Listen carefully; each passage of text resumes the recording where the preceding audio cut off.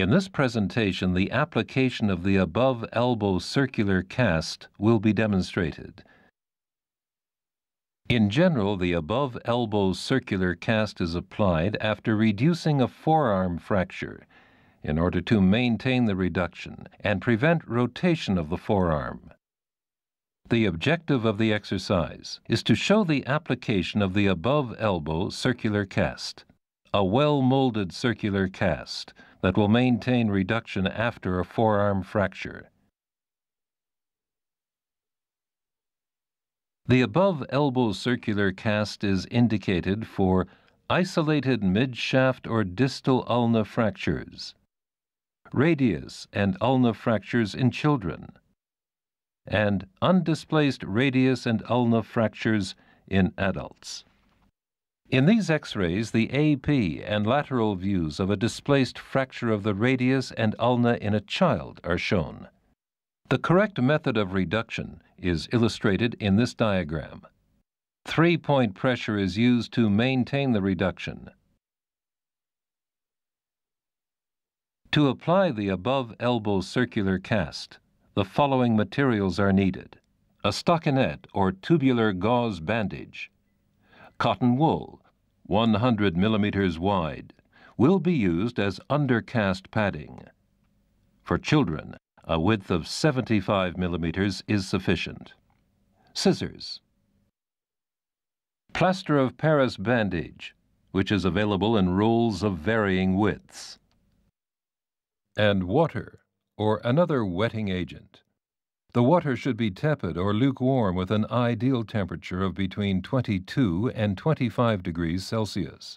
It should be noted that colder water or a bandage that is wetter will allow for an increased working time, while warmer water or a bandage that is drier reduces the working time.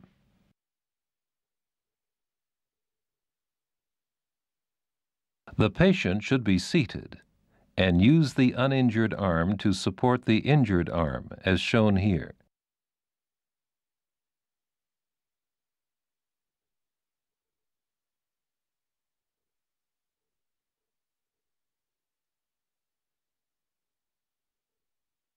The distal border is located at the distal palmar crease so that the patient is still able to flex the MP joints to 90 degrees.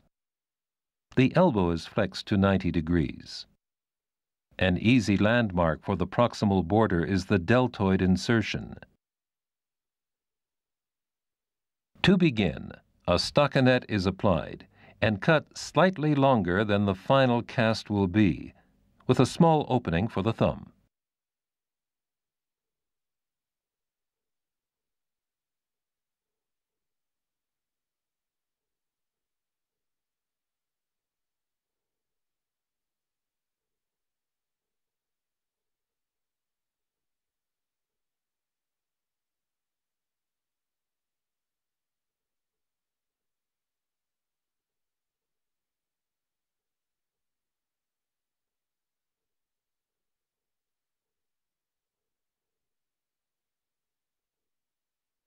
The cotton wool is used for undercast padding.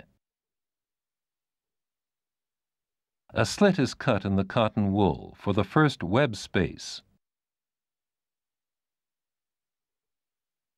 Beginning distally, the cotton wool is gently wound around the forearm, giving an overlap of 50%. The overlap creates a double layer of padding.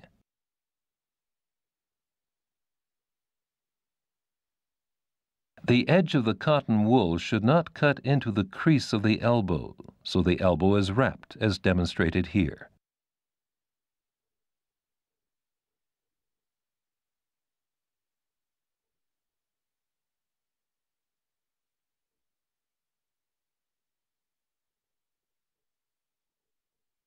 The cotton wool extends slightly beyond the planned length of the cast so that the ends of the cast will be padded. Three pieces of cotton wool are used to pad the area above the elbow, the bony prominences of the olecranon, and the condyles of the humerus.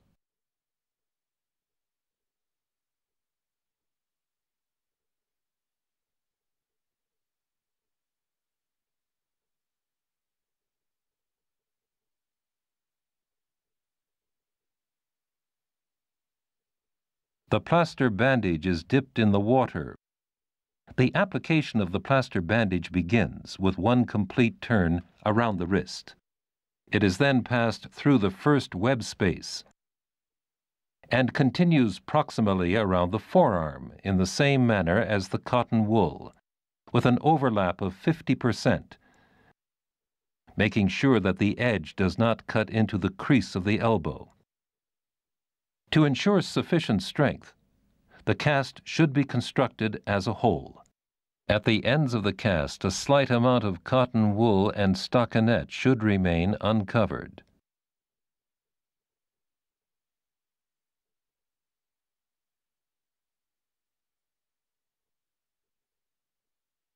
A second plaster bandage is applied beginning where the first ended, giving an overlap of 50%.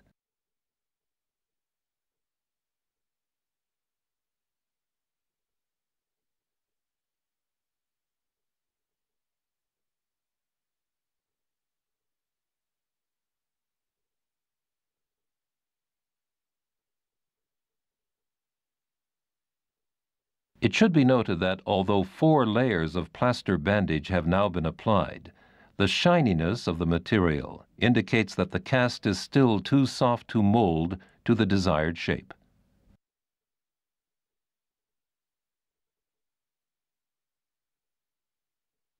While waiting for the initial set of the plaster, the stockinette can be folded over at the ends and around the thumb.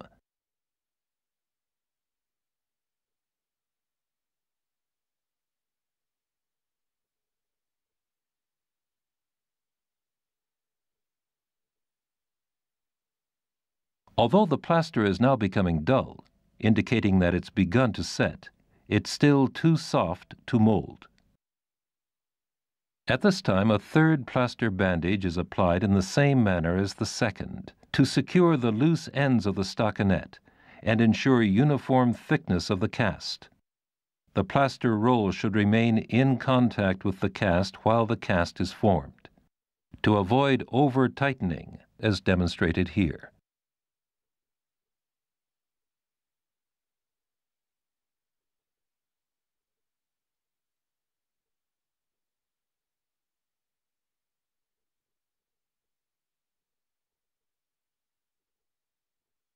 The plaster is smoothed in the same direction as the bandage to ensure integration of the different layers.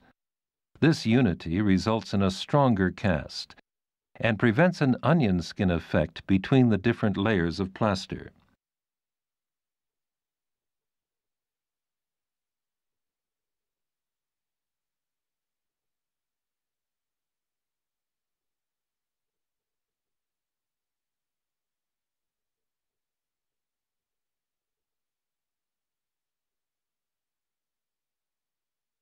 A fairly firm circular motion of both hands forms the plaster into an oval shape.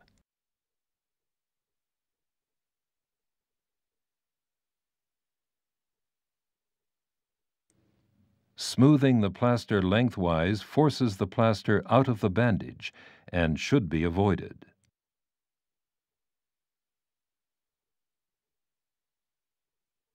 The palmar plaster is now molded to fit the hand.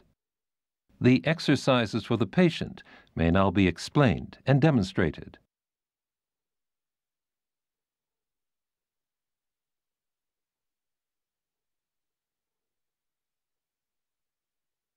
The application of the above elbow circular cast is now complete. A sling may be provided to support the weight of the cast.